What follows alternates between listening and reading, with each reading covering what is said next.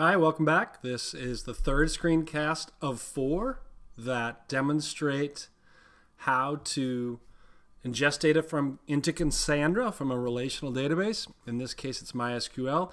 And in this case, we're going to have a brand new pipeline. It's a streaming pipeline. It is a pipeline that is designed to run continuously. Why would we want to do that? Well, after an initial bulk load of historical data, we want to be able to capture all the changes to our source database, the mutations, and synchronize those up with our Cassandra destination. This might be for a small period of time or maybe through a maintenance window before we can cut over to Cassandra entirely. So it's a different type of pipeline, and a different type of pipeline has a different type of origin. In this case, it's our MySQL bin log origin for change data capture.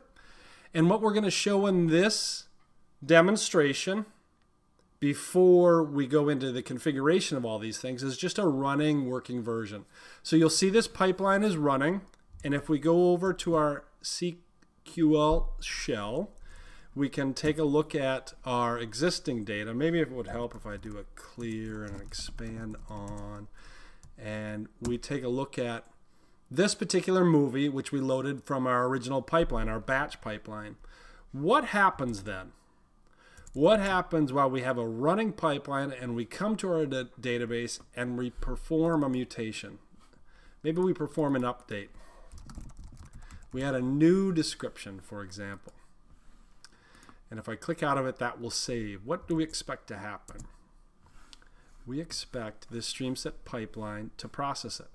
So we can see that it has. We've got a one input record and an output. And if we follow through the stages, we'll see it land in the movies branch.